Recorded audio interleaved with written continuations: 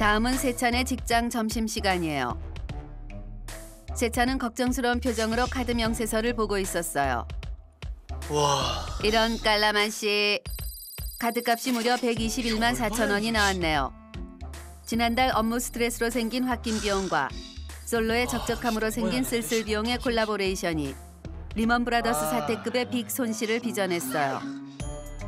그야말로 핵폭탄급 재정난이에요. 야, 이럴 땐 긴축 정책밖에 답이 없어요. 시간을 보니 어느새 11시 30분 점심시간이 시작되었어요. 세차는 짠돌이 모드로 돌입해 오늘 나의 점심값을 계산해줄 해자로운 지갑의 소유자를 찾아보아요. 자, 오늘은 얻어먹기로 작정을 먹을까? 했어요. 오늘 얻어 먹어야겠다. 아이고 벌써 점심시간이네 양대리 밥 먹으러 갈까? 박 부장, 직급은 높지만 네. 더치페이를 네덜란드 사람보다 먼저 실행하신 분이에요. 진짜 맛있어 저분한테 밥을 얻어먹는 건 거의 어? 미션 임파서블에 가까워요. 뭐야 빨리 가자니까 아, 제가 선약 있어가지고 죄송합니다. 알았어요. 1차 방어전에 성공했어요. 양 대리님, 어? 저희 중국집 갈 건데 혹시 같이 가시겠습니까? 2020년에 입사한 새내기 신입사원들이에요. 저번에 갔던 중국집? 저 무리에 끼어든다는 건 내가 카드를 들고 용광로에 뛰어드는 것과 똑같아요. 아예 쳐다보지도 않는 게 상책이에요. 어, 아 지금 속이 안 속이. 안 좋다는 핑계로 신입사원 무리들을 내쫓아 보아요. 어,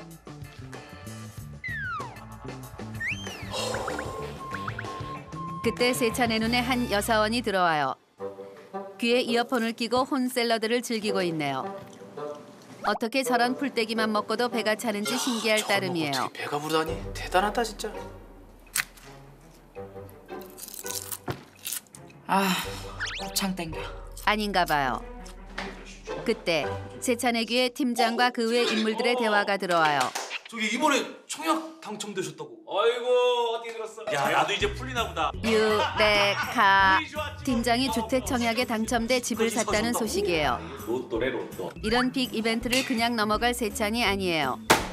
먹잇감을 발견한 하이에나처럼 은밀하게 접근을 시도해요.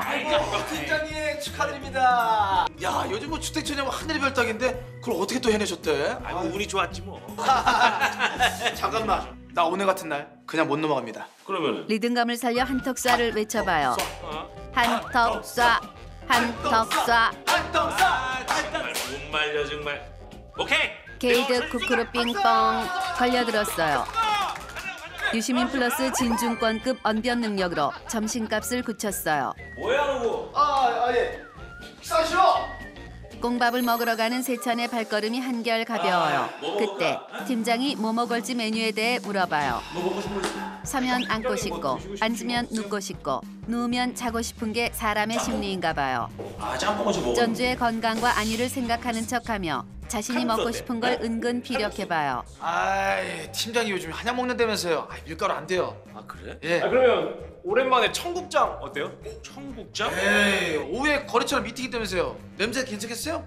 안 되지. 생각이 없어 강보면. 어? 받겠습니다. 뭘 먹냐 이거. 아 모두가 패닉에 빠져 있을 때 마치 지금 아, 맞다. 생각났다는 그 듯 앞에 메뉴를 투척해요. 순대국밥집이 새로 생겼는데 어? 회사 사람들한테 엄청 핫하던데? 그래? 예. 아 그런 게 생겼어? 예.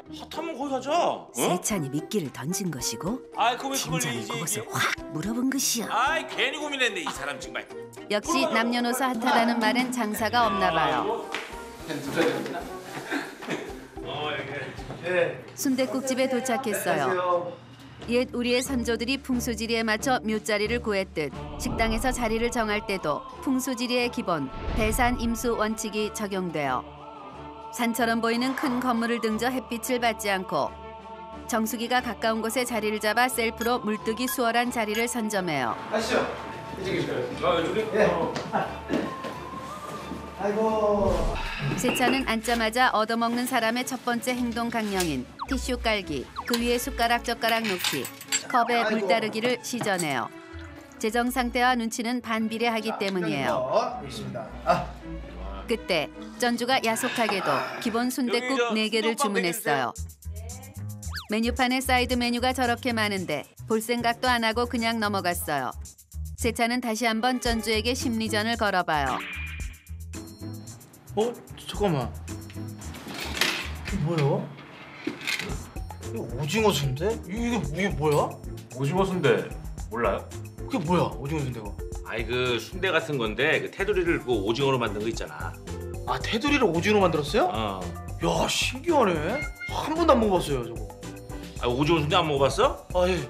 아 이 친구 정말 이거. 아 오징어 순대를 안 먹어봤어? 아 예. 아 집에 어? 다음에 와서 먹어봐. 어? 엄청 맛있어 이거. 이번엔 실패로 돌아갔네요. 예. 기다리고 기다리던 예, 순대국밥이 나왔어요. 감사합니다. 월급 나오기 전까지는 마지막일 수도 있는 고깃국이에요. 쌀 한 톨 한 톨 음미하며 최후의 만찬을 즐겨봐요. 야 그 바이오주 괜찮다고 하지 않았어? 네 그러게. 그때 직장인들 점심시간에 빠질 수 없는 토크 주제 주식 얘기가 나와요. 팀의 박대리 알지? 세차는 주식에 일절 관심이 없지만. 얻어먹는 사람의 두 번째 행동 강령인 폭풍 리액션을 깔아줘요. 믿을만 하죠. 작년에 박 대리님 주식으로 차 바꿨잖아요. 그래? 진짜로? 아우 대박 대박. 그나저나 자네들도 그 건강 조심해. 나 이번에 건강 검진 받았는데 용종이 다섯 개나 나왔어. 와 진짜로 대박 대박. 참고로 영혼 없는 리액션은 안 하니만 못해요. 길고도 짧았던 점심 식사가 끝나고 팀장이 지갑에서 카드를 꺼내 밥값을 계산해요. 잘 먹었다는 말은 가게 밖에서 하지 말고 꼭 카운터 앞에서 해야 해요. 그래야 카운터 직원이 보는 데서 전주의 위상이 서기 때문이에요. 안녕히 가세요. 점심값 굳히기 프로젝트가 성공리에 끝났어요. 이제 기분 좋게 사무실로 돌아가려는데 잠깐만 잠깐만. 저희 재미 삼아서 커피 쏘기 가위가위보 한번 할까요? 이런 깔라만 씨 눈치를 칙스 파맛에 말아먹은 박 대리가 커피 쏘기를 하자고 제안해요. 어, 그래? 3분의 1 확률은 거의 사행성 도박 수준이에요. 괜히 8천 원 아끼려다가 12,000원 날릴 위기에 봉착했어요. 이럴 때 대처 방법은 손자병법 36개에 정확히 나와 있어요. 빨리 빨리 빨리 빨리. 때로는 도망치는 것도 필요하다. 아 이거 어쩌죠? 제가 12시에 그 바이어랑 커피 약속을 깜빡했네. 아유 지금 와 있을 것 같은데. 뭐 어쩔 수 없지 뭐. 어? 먼저 들어가 봐. 아 먼저 들어가겠습니다. 어. 죄송합니다. 뒤통수가 따가운 걸 보니 거짓말이 들통난 것 같아요.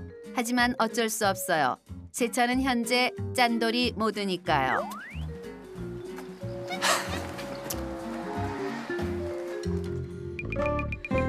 그러니까 나